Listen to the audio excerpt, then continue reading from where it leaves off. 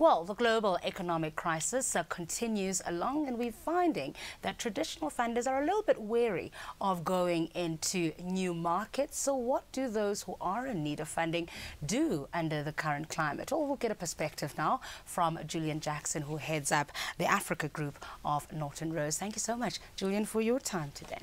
pleasure. Is this an unprecedented um, crisis? It started in 2007, 2008, and people felt that, you know, after a few years, if you look at economic cycles, we'll start to see a recovery, but it looks like we're in double dip mode at the moment.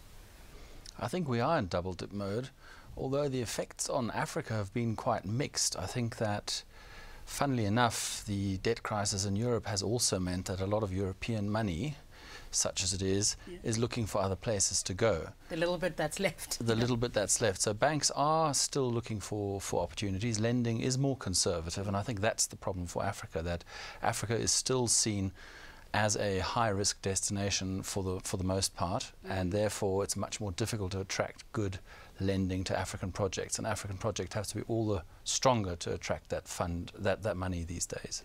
The one issue Africa's always had is that we've always been seen as almost one country.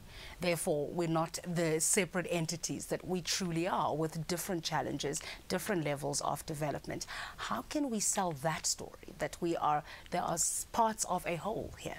Absolutely right. I mean, there are 54 jurisdictions in Africa, each of them completely different. Uh, each has different strengths and weaknesses or different assets and different issues that need to be contended with. And I think experienced funders, experienced business people have a much better understanding of that. And at the moment, again, post the financial crisis, we're seeing far more people sort of having a look around, thinking of Africa as a, as a single concept and not appreciating that Africa is very different depending on, on where you go. And what the more experienced people are finding is that if you know your market, you understand what you're trying to do, you can do extremely well and, and, and uh, start some very successful projects if you know what you're doing. There's a lot of talk about South-South cooperation. Um, we know about BRICS, of course, and uh, Africa joining that uh, under South Africa, for example. But does that translate into funders from those countries starting to take a closer look at the continent, or are we still largely dependent on traditional funders? Um, it's an interesting question. I think probably there is a real change in the format. I mean, what we're finding is that Australia is very heavily invested in the um, resources sector in Africa across the board. Uh, at a recent conference in Perth, I was amazed to discover there are 240 Australian companies active in, in Africa, uh, doing some huge resources projects all over the world. And an interesting comment made by Australians was that it's very difficult to find infrastructure in Australia to extract minerals some, from some of the places where you find them. And therefore, they're drawn to Africa mm. because they can see resources which they can extract, and there is some infrastructure, which is a little bit surprising to yeah. us as Africans, thinking that this is the continent that people say doesn't have infra infrastructure. Yeah. So there's an Australian play. Uh, Chinese funding uh, is certainly. Uh, you know, gaining momentum with every month that passes. More and more huge deals are being funded by Chinese in circumstances where um, there really wouldn't have been alternative sources of funding available.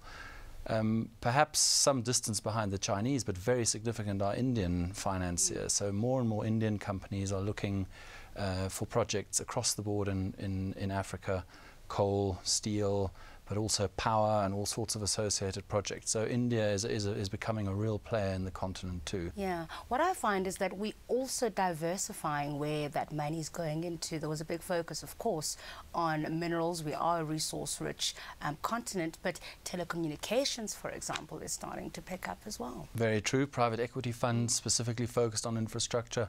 I think another play that's, that's probably taking place at the moment is that as traditional sources of, uh, of finance have uh, have become more and more difficult.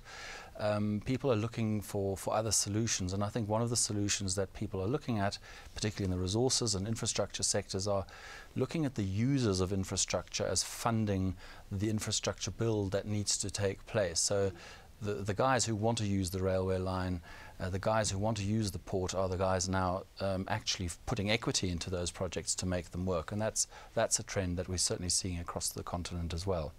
What questions are these funders asking themselves before they decide, fine, we're going to go into South Africa, we're going to go into the DRC or, or wherever, Congo Brazzaville? I think the first question is is there a, a, project which is viable? So, if I've got a mining project, can I get the ore out of that place to take it to the market where I want to sell it? So, that's the very sort of first level of fundamental question that needs to be answered. And very often it's quite a difficult one to, to answer because um, big projects will often need power. There may not be the power to supply that project. Um, if one looks at, at Mozambique at the moment, for example, there are huge natural resource opportunities in Mozambique, but there are also massive challenges in terms of infrastructure. So, mm. even if you have a mining uh, opportunity, can you power the mine? Even if you find a mine and you can power it, can you get the ore out? So, those are some of the, the key challenges. I think the second question, if there is a fundamental uh, viability of a project, is uh, probably around stability. Do I believe that uh, I can have a contracting structure which allows me to plan for the future for the long term. So if I have a, a five-year debt, you know, is the project going to be the same in five years? That's much easier to answer than if I have a 20-year debt tenor and I need to make sure yeah. that, that the project can last as long as that. So that's where stability is a key issue for investors. You're going to have to leave it there. Thanks for your time. So it looks like um, the public sector, our politicians and our leaders have to um, bring in their side here as well if we're going to continue to grow um, the interest that we have from international funders.